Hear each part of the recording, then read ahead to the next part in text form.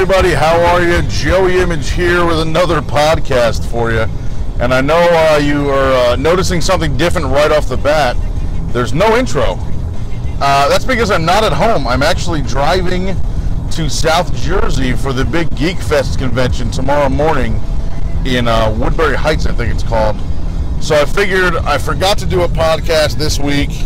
Uh, I for, well, I forgot on my normal night, which is Tuesday night, and then Wednesday night I just didn't have time. Um, as most of you guys know, I'm moving in a couple of weeks, so I was packing to move. Uh, I hope you can hear me. Actually, I got a little bit of music playing in the background. Um, so I'm, I'm, not home right now. I'm driving. I didn't have time this week to do uh, an episode. I know I said last week that I'd be doing like bi-weekly um, podcasts, but I think I'm going to change that. Uh, I think what I'm going to do is just whenever I feel like it, I will do an episode until I am moved in and settled into my new uh, office. So I think for now, I mean, it might be every other week. I don't know, but we'll see what happens. This week I had a urge to do one. I had some stuff to talk about, and again, I didn't get a chance to do it. So, and you may hear like the sounds of the, the sounds of driving or wind in the background, and uh, I apologize. Keep my windows closed as much as possible while I do this, but uh, it's not really that cold out anymore. It's sort of warm in here. I mean, I got AC, but I don't want to put that on and have that blowing into the microphone either. So I just hope this sounds okay. And if it doesn't, well, I apologize. I won't find out until it uploads, actually. So, my dilemma with this and how I'm even doing this is because I've got a microphone. I spent like $10 on this little microphone. I think it's called PM10. It, it's just a standard 3.5 millimeter jack. Um, I'm sorry, standard 3.5 millimeter connector that plugs into the 3.5 millimeter headphone jack on the iPhone, and it records audio that way. So basically, I've got the microphone plugged in. It's clipped onto my seatbelt here as I go through the uh, E-ZPass, which is a rip-off. Um, it's clipped onto my seatbelt here, and uh, that's how I'm yapping to y'all. Uh, the only the issue that I don't like is that the SoundCloud app, SoundCloud.com, is where all my episodes are hosted. But what I don't like about the SoundCloud app for iPhone is that it doesn't allow you to record. It's basically just a podcast listening app, I guess. So because I can't record on that, I've got another app called uh, Audio Copy, I think it's called. Those of you podcasters that use SoundCloud, this might actually be a little bit uh, helpful to you.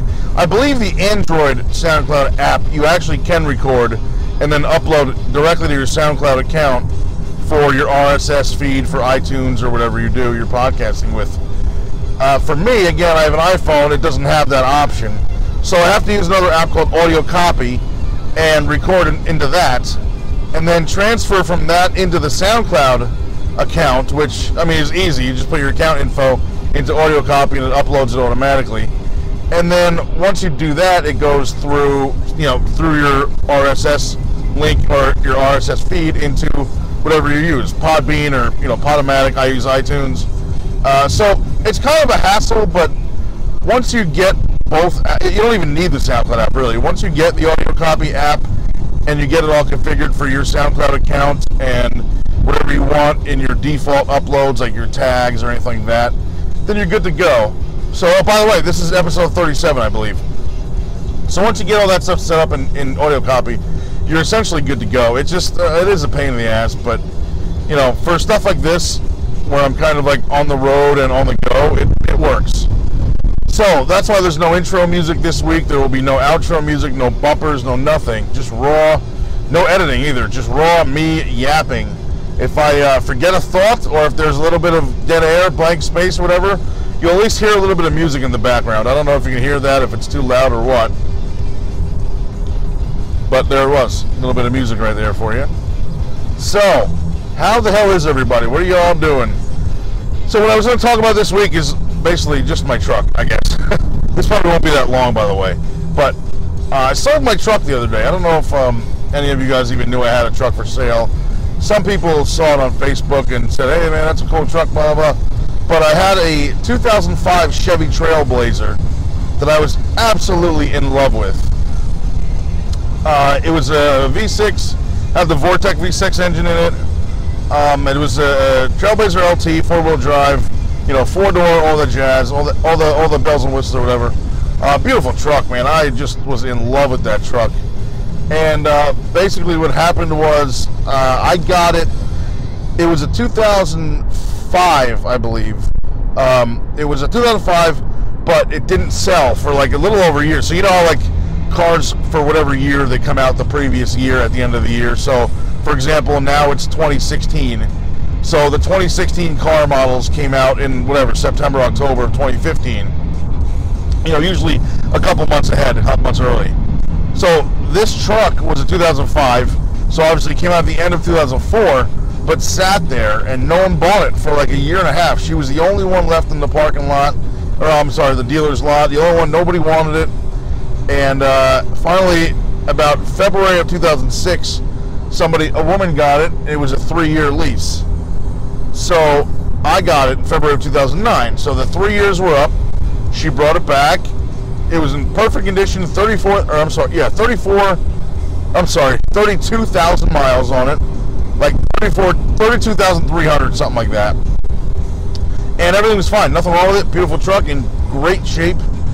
Uh, so essentially, what happened was uh, I, I saw a white. It's in fact it's still around the corner from where my parents live there's a neighbor around the corner who's got a white Trailblazer. I don't know what year, but same body style, so I'm assuming 05, 06, whatever it was.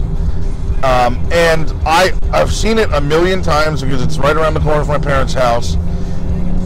And I think it's beautiful. I really, really love that truck. I've seen it driving around town. Always thought really, really nice looking truck. And if I could uh, help it, I'd like to get me one of those one day. So I used to drive a little black Chevy Lumina. Some of you uh, wrestlers and wrestling fans may have seen it. It was a little black Chevy New Jersey plates, and it said joeyimage.com on the back window back when I had my website. So that car eventually died. Uh, the transmission blew, and I just couldn't afford to have it fixed or replaced. It really it didn't even have a lot of mileage. It only had, I think, 120 something thousand miles on it. Uh, I just couldn't afford it. And my uh, my father was actually in the market for a new truck. He drove a blue Chevy Equinox, which I, I own and I drive now. So he had the Chevy Equinox 2006, and he wanted a new truck. Uh, he wanted a new Equinox. So basically, what happened was he waited to get his new one, drove this Equinox for a couple years.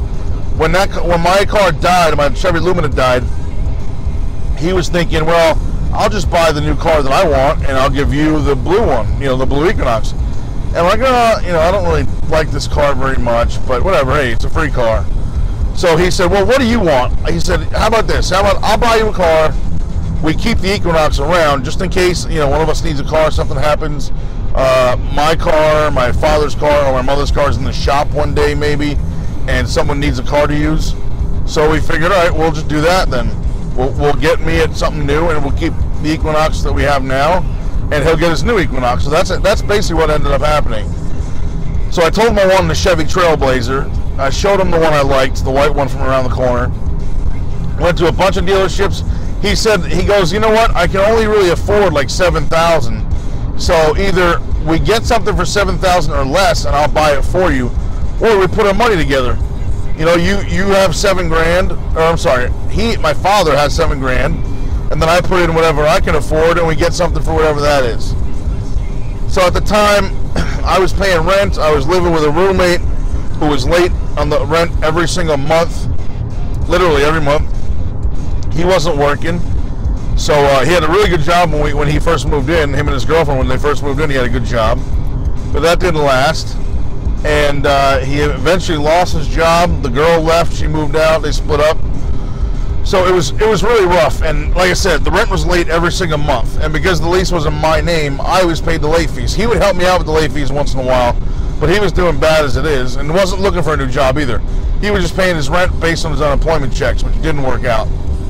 So there were times where we would pay 100 bucks, 150 dollars a month in just in late fees because of the the the deadbeat I was living with. So basically, what happened was I told my father, like, look, I can't really afford anything. You know, I'm not doing that great as it is. So why don't we just do seven thousand, or you know, or less if we can find it? He said, all right. We looked around a whole bunch of uh, uh, Chevy dealerships, we didn't see anything that was under like 13 grand. So I was like, you know what, uh, we're, we're not going to find nothing. Why don't you just buy your new truck and, and I'll just take the Equinox you have now, the blue one. You know, forget it. It's all right. I mean, you know, I, I, I already appreciate the, the gesture of him offering to buy me something. And I feel like it's my dad, it's, you know, it's my father. Like, I really, we really haven't, we don't get along very well. I shouldn't say that. When we, uh, when we're together, we argue a lot, but you know, deep down, I love him. He's my dad, and he loves me. But still, I felt like, excuse me, I felt like it's not my, not his responsibility to get me a new car, even though he offered. So we didn't find anything in the price range. So I said, forget it. It's fine. Don't worry about it. That was a Friday. The last time that we looked was a Saturday, and uh, that Saturday I was like, forget it. You know, don't worry about it. We never found anything. We looked. We had looked a whole, for a whole week from well, not a whole week. We looked from Monday through Saturday. Finally, when I gave up, I drove. I actually drove his Blue Equinox for a couple of days. He hadn't gotten his new one yet, my dad's old. He doesn't do anything anyway. He doesn't really leave the house. Like he goes to he'll he'll go shop. Like he'll go food shopping maybe once a week. And when he goes uh, on vacation to Florida, my family owns a owns a home in Florida. He'll go down there for a few weeks but he doesn't really do anything other than that. So he doesn't really need um, a truck. Well, he doesn't really need a car like full time. He's cool with only uh, you know driving a couple times a week and that's it. So I took his Equinox for a little while until he got his new one, but well, that was the plan. So again, we stopped looking on a Saturday. That uh, Sunday, Monday, Tuesday. So three days later on Tuesday, there was a I got a phone call at my day job. I had a day job for a little while. I was a temp in an office. So I got a phone call from this guy, Tom, or Tim. Tom, Tim, one of those. I think it was Tom. So he goes, Hey, is this Joe? So I go, uh, Yes. He's like, This is Tom from All American Ford in Hackensack, New Jersey. So in my head, I'm thinking, Well, did we look at something there? I don't remember it. And he wants to because I did look at, at a really nice Ford Explorer too, but it needed like nine thousand dollars worth of work that I didn't know about until my mechanic looked at it. So I thought, well, maybe this guy's calling me back, trying to get me to buy this Explorer. So I was like, uh, this is Joe, yeah. And also, I'm thinking, well, we were looking at Trailblazers. This is a Ford dealership calling me, so that's not the, you know, not the same thing. So he goes, well, you're now the proud owner of a 2005 Chevy Trailblazer. And I go, uh, Excuse me? He goes, You're now the proud owner of a 2005 Chevy Trailblazer. And I said, But you just called me from a Ford dealership. Why would you have a Chevy Trailblazer? And he says, Well, we're All American Ford, but we also own All American Chevy, which is right across the street and down the road in Hackensack. So I'm like, So what do you mean I own a Trailblazer? I, I didn't look at any at least I didn't look at any there. I looked at the Explorer the other day. And he goes, Well, I'm here with your father. Maybe you should talk to him. So I'm like, Okay. So my father gets on the phone. He goes, Hey, buddy, I just bought you a truck. So I go, Holy shit, are you serious? So it turns out my father bought, found a Trailblazer that he liked, that he thought was a good deal. And again, like I said, I had my mechanic, our mechanic, the family mechanic. My father's been going to the same mechanic for over 40 years, or close to 40 years now, I should say. And um, we felt, he felt like it was a good deal. It was good enough to buy on the spot. Didn't even have my mechanic look at it. So for my father to buy any used car and not have our mechanic look at it is a big deal. It may not sound like anything to those of you listening to this, but trust me, my father, that's a big deal. So he didn't didn't have that done, didn't have it looked at, nothing. Just went down there, checked it out. He drove it a little bit, took it for a test drive, liked it. 32,000 miles, and he paid for it. Bought it outright cash on the spot. So I was like, wow, this is amazing. So he goes, yep, I need you to come down here as soon as you get out of work. And I got out of work at the time at 5.30. This is close to 4, 4.30, I think. 4.30ish, I believe. So I got out of work 5.30, went right to the dealership. My father was already there, of course. And uh, what happened was my mother and him drove there together, so one of them could drive the Equinox home, and I could take the, the new Trailblazer. So I get there, and basically what happened was it was more than what his, uh, you know, um, limit was. I guess you call it. His limit was seven thousand, as I said, or his price range was seven thousand. The car, the truck, the Trailblazer was twelve thousand five hundred. So I, I, the first thing I said was, "Man, if you'd told me all along that you were cool with twelve five, I would have looked at more trucks. Or there's like three that we could have bought already, just from looking at them." And he goes, "Well, I really couldn't afford that, but I found this, and it's in great shape, and it's got barely, you know, barely any miles on, only thirty thousand miles, so it's barely broken in. It was a lease. It's only had one owner." and uh, well, one you know one lessee, one one person driving it, and he's like, it's just in great shape, and I feel like you know it's a, it's a good buy, and I know you want it, so here you go, it's it's yours. I love you, and I was like I was almost in tears. Like my my father, my father is a marine. Oh, I should say ex-marine because he's no longer in the military, but you you military guys will know once a marine, always a marine. There's no such thing as an ex-marine. So my father's 100% Italian Marine from Brooklyn. In the 50s and 60s, he grew up. So, you know, he's a, kind of a hard ass. So, for him to buy me something that was more than like, you know, 50 bucks, especially a you know a brand new car or not brand new car, I'm sorry, especially a new car, new to me at least, without even having it looked at by our family mechanic, is a really really big deal. So I was, of course, taken back by that. I was super, super appreciative and, and uh, you know, grateful. I thanked him a million times. I mean, I, I thanked him a thousand times. Still, I have. So now that I sold it, I still even thanked him the other day for buying it for me in the first place.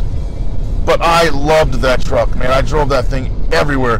That thing, like I said, had 131, 132,000 miles on it when I, er, I'm sorry, 32,000 miles on it when we got it. When I sold it the other day, the other uh, almost a week ago now, last Saturday, it had 161,000 miles. So I put about 130,000 on it. That's all wrestling trips from here to Florida to, to Pennsylvania to Ohio to Connecticut to New York to, to you know other spots in New Jersey, um, Delaware, Maryland. I mean, uh, all a lot of wrestling trips on that. A lot of you know, a couple Florida trips on there, a lot of Seaside Heights, you know, just a lot of driving in, uh, well, I got an in 09, so what is this, this is 15? So six years, I got it in February of 09, and uh, I only drove it until, excuse me, I only drove it until 2014, so five years, because what happened with it was uh, a valve burnt out, so number two wasn't firing, valve number two was burnt out. So because of that, the check engine light was on, 20, you know, 24/7, path, whatever, you know, perpetually. So because the check engine light was on, it wouldn't pass inspection. So it's like a catch-22. What happened was it wouldn't pass inspection because the light was on, but it would cost too much money to get it fixed, to get the light, you know, to get the uh, valve job fixed, to get the light off. So it, it was at an end. Plus, I mean, at 160,000 miles, really kind of wasn't worth it for such high mileage to um, get it fixed. I mean, it, that was like the major thing wrong. There was a couple little things. Um, the windshield was cracked, which I had that replaced once before by our family mechanic, and it cost three hundred dollars. So that's not too bad. The motor in the passenger side window you know, the motor in the uh, door panel for the window didn't work, so the window didn't go up or down. The air conditioner slash heater didn't work on settings 1, 2, 3, and 4, only 5. Um, what else is there? I think that may have been it. So, which doesn't sound like a lot, but in total, to fix all that would have been around $4,000, with the valve job being about 3500 alone. So, from what this is what I was told from my my family again, my mechanic, around four grand. So it was like you know, I mean, it's it would it would have been great to fix all that, and I really do love that truck, but how do I know like when I fix all that like something else isn't gonna wrong? I mean, it was getting old. It wasn't getting old year wise, but mileage wise, man, it had you know been around the block quite a few times. So I kind of felt like it wasn't really worth it at that high mileage of 161,000 miles to even bother fixing it and then hoping that it was okay. It ran great. I mean, it was it ran strong. It started right up, but because of that burnout valve, it would rumble. So even when it idles, it would rumble a little bit and shake. It would always feel like it was going to die, but it never actually stalled out. But again, because of the valve job, the check engine light went on. Because the check engine light went on, it wouldn't pass inspection. Even with the new inspection changes coming up in on May 1st in the state of New Jersey, it still wouldn't it still wouldn't matter because none of those rules applied to me. There's one rule. Actually, there's there's the, the, the two new rules are like if your car is a 1995 or older and it has a weight of I think 50 uh, 5,500 pounds and less. Uh, actually, no, I'm sorry. It's it's if the car is 95 or older and weighs 3,000 pounds or more, you don't need inspection. So you no longer need it. Even if it's failed, it doesn't matter. You don't need it anymore. So, excuse me. So if my car fell into that category, it would be great. It wouldn't have needed inspection. Unfortunately, it's newer than 95 and heavier than 3,000 pounds. So the next category was if it's a 2007 or newer and 8,000 pounds or lower, it doesn't need it. So my car was 2005, but it was 5,500 pounds. So it was heavier than 3,000 pounds, which didn't fit, and it was newer than the uh, 1995 car, but older than the 2007 car. So I couldn't do any of it. So none of those rules are actually going to apply to me, which really sucks. Because if that was the case, I would have just kept it and drove it the way it was until it died. I mean, it, I'm sure it would die eventually, of course, but it really wasn't um, unreliable. Let's put it that way. Very reliable car. Like I said, started right up, ran real strong, never had a problem with it. I ran it every week, at least once, just for like 20, 30 minutes. And, uh, you know, I don't know, I just, it didn't, just didn't work out in my favor. And I was kind of bummed out about it too, because like I said, my father got me that truck, and I love that truck. Um, the night that I sold it, I was already on Craigslist and uh, I think eBay. Or I'm sorry, uh, I was on Craigslist and TrueCar. There's an app called TrueCar. Um, it's like a car buying app. It's a, it's also got there's also a TrueCar.com. I was on both of those looking for a new one, not like a new, not like a brand new, but another Trailblazer. I'll get one eventually. I mean, I really kind of love those those trucks, but you know, I got time. I'm not in any hurry. I've got this. You know, I'm, I'm now driving the Equinox that my you know I talked about earlier, the blue one. So I've got plenty of time. But basically, I put I listed this truck on Craigslist about six months ago for fifteen hundred dollars. I didn't get one email, not one email. In when so first of all, let me go back. Let me backtrack a little bit. When you list something on Craigslist, they they keep it listed for thirty days. If you want to delete it, you can go in there and delete it during that time, or you can go in there and edit it. That's fine but it'll it'll if you leave it alone, just the, you know the way the way you put it up in the first place, it'll list for 30 days, which is fine with me. I'm thinking, hey, 30 days, that's cool. That's that's enough to sell a car, right? Should be fine. Uh, maybe not because the first time I listed it, I didn't get one bit of interest back at all.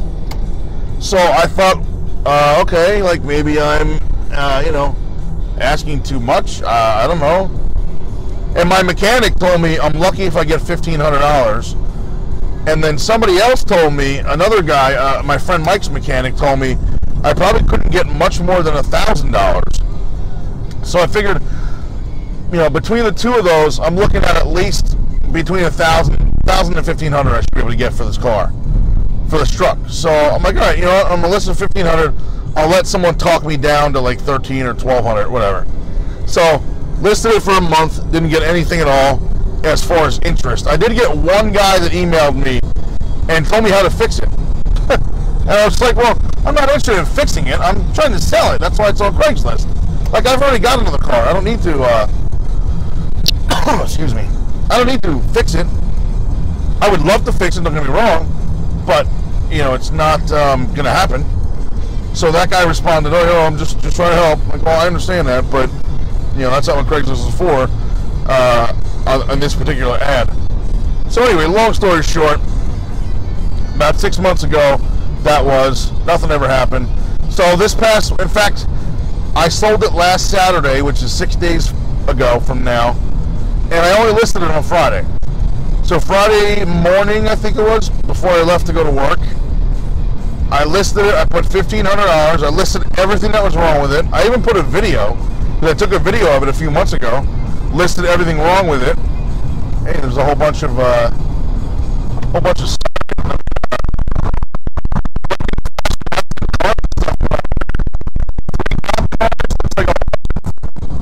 I don't know. It looks like I flipped over a car. Anyway, so I took a. There's a YouTube video of it. I put the ad listing everything that was wrong with it, and I even put the cost of what my mechanic told me it was to fix it. And that was Friday morning. By Friday afternoon, I had five emails, all people interested in it, which to me was amazing. I was like, whoa, I can't believe this. Six months ago, I didn't get one of these in 30 days, and now I get five in just a matter of hours. So I emailed everybody back, and there was one guy whose name was Serge, Sergio, or Sergey, I think his name was Sergey, S-E-R-G-E-Y, Sergey.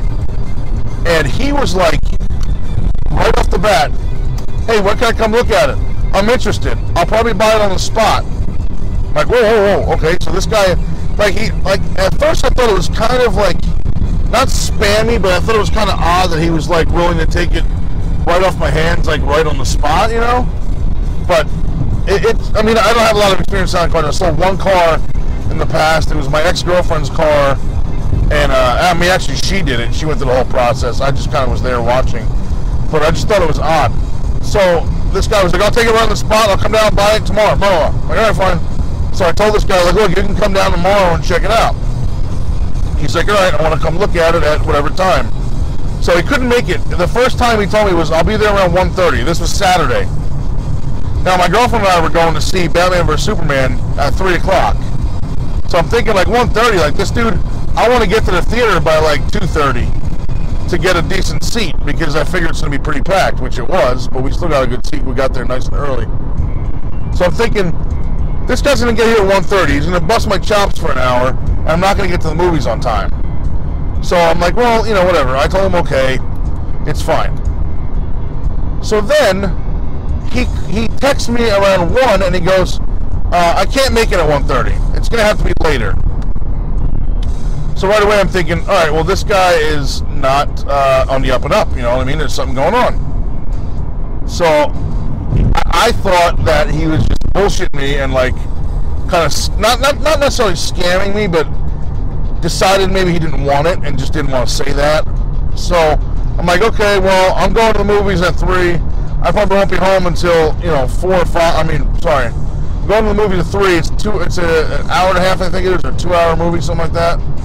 So I'm not going to be home. I told him, you know what? By the time I get home and get settled and, and maybe eat something over, it'll be about seven. So why don't you come by around seven o'clock? He goes, okay, that's fine. Gave him my address. So seven o'clock it is. Like, all right, that's cool. So then I'm I leave the movie theater around six ish, uh, six fifteen. The movie wasn't actually until three thirty. I thought it was three. So I move. I leave around four. Um, I guess around six, six fifteen. Around six thirty, I'm on my way home. I'm very close to my house. I mean, the movie theater is only about fifteen minutes away. I'm on my way home, and the guy texts me, "Hey, I'm here." I'm like, "Oh shit! It's uh, it's only six thirty. He told me seven. So he's there early. I go, okay. Well, the truck's right outside my house. If you want to look at it, it's not locked. I mean, I'm sorry, it's unlocked. Fuck, it's locked. So you can't really get into it. But I'll be home in five minutes. I'm only about a mile or two away. So he says, okay. So I get there. He's there with his wife and kid or whatever, looking at the car or whatever. Long story short, he likes it. He wants it. He's, he wants to buy it and send it to DR, which is the Dominican Republic. And I thought of George Costanza right now because he told me he's an importer-exporter. and I giggled because Art Vandelay was an importer-exporter of latex. So this guy's an importer-exporter of cars. He, he imports exports between the United States and the Dominican Republic. So he goes, yeah, you ever go on vacation in DR? You might see this car driving around. So I go, all right, you know, he had cash on him. I'm like, all right, so he goes, well, your ad said $1,500. And I said, yep, 1500 bucks. He's like, I can give you like maybe an even thousand. So I go, well, 1500 So he goes, I can maybe do 1100 bucks. And I go, maybe $1,400. So he's like, I can do maybe 12. Now keep in mind, I absolutely love this truck and did not, not at all, did not want to get rid of it. So he goes, and the last offer for me was uh, 14. He goes, I can do 1200. That's my final offer, $1,200 cash right now.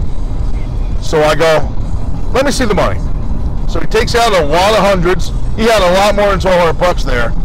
And I go, all right, here's what we're going to do.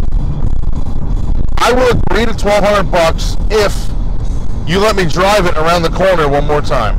Now, I mean, it's not the car's not registered or insured because it's been off the road for two years. But he's got a friend that owns a mechanic shop.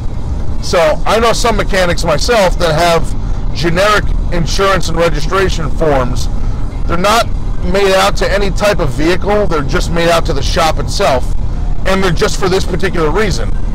If the if the shop or the junkyard or the mechanic or what have you wants to buy something that's not registered or insured, they can use these dummy plates and uh, registration insurance just to get it to where it's to its destination until they can fix it and get it legally registered and insured. They're like temporary plates or whatever, sort of. So we had each of those. He had temporary insurance. Oh, I'm sorry. He had uh, the, the shop insurance and the shop license plates. So I go, all right, 1200 bucks, and you let me drive it one last time. So he goes, you want to drive it one more time? I go, absolutely.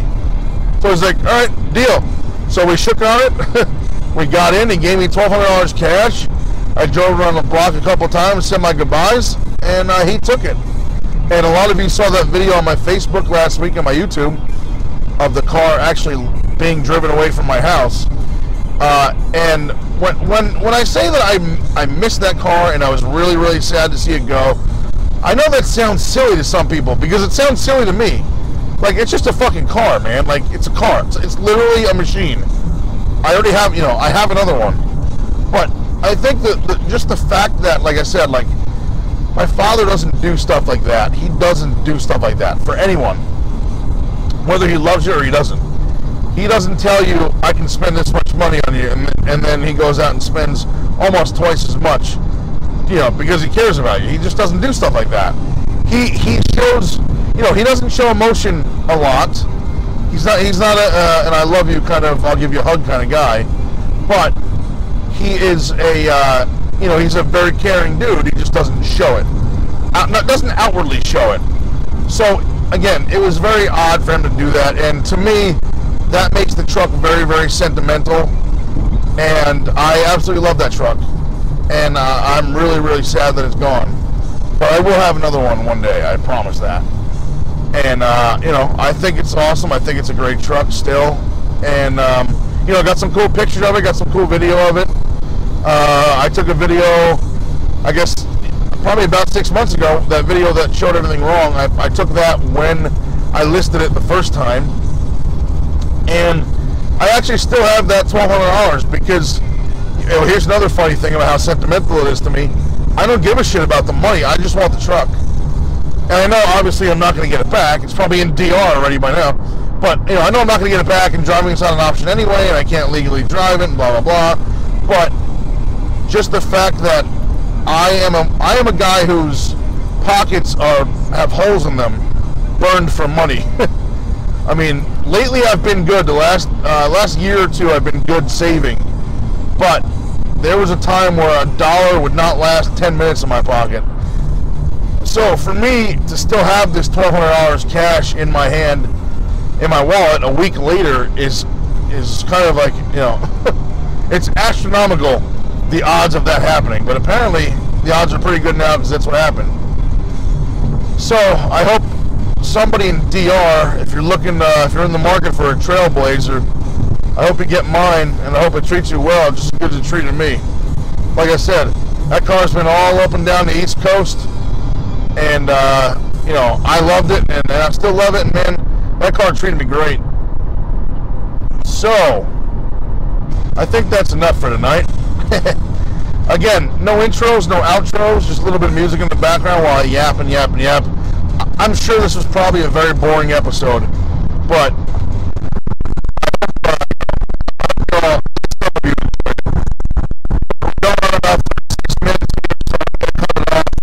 I appreciate you guys listening to this episode. It's been an odd one. Like I said, I'm still driving. I still got about another hour drive to go. So, I'm going to let you all off right here. It is uh, about 10:30 p.m. Friday night, April 1st, and uh, please follow me on Twitter at Joey Image. Please follow me on Twitter at Joey Image.